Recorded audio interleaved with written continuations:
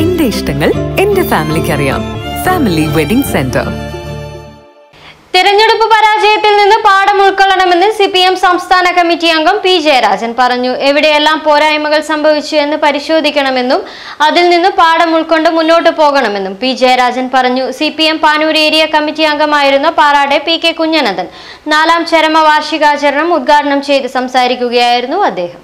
എന്ന പാഠം ഉൾക്കൊള്ളണം. ചരിത്രത്തെ ശരിയായി വിലയിരുത്തണം. എവിടെയെല്ലാം പോരായ്മകൾ സംഭവിച്ചു എന്ന് കൃത്യമായി പരിശോധിച്ച് മുന്നോട്ടു പോകണമെന്നും അങ്ങനെയെങ്കിൽ തീർച്ചയായും തെരഞ്ഞെടുപ്പ് രംഗത്ത് തിരിച്ചു വരാമെന്നും ജയരാജൻ പറഞ്ഞു.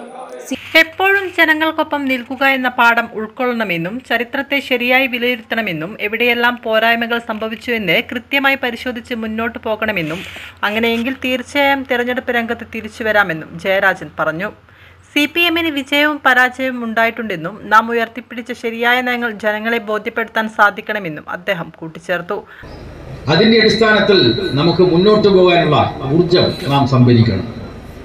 നിങ്ങൾക്കറിയാം അഞ്ച് വർഷം മുമ്പാണ് രണ്ടായിരത്തി പത്തൊമ്പത് ലോക്സഭാ തെരഞ്ഞെടുപ്പ് നടന്നത്.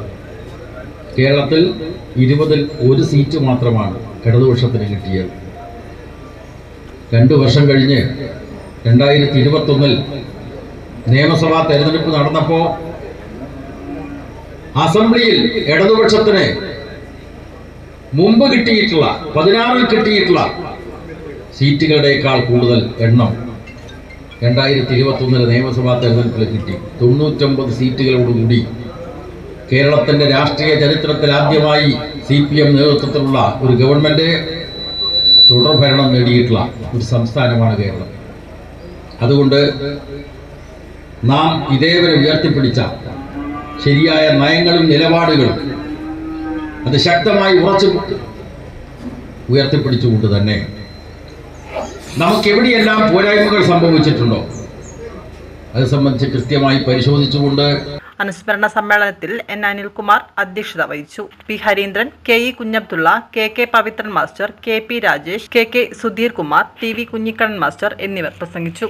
അനുസ്മരണ പ്രകടനമായെത്തിയാണ് നേതാക്കളും പ്രവർത്തകരും സ്മൃതി മണ്ഡപത്തിൽ പുഷ്പാർച്ചന നടത്തിയത്. കുടുംബാംഗങ്ങളും പുഷ്പാർച്ചനയിൽ പങ്കെടുത്തു.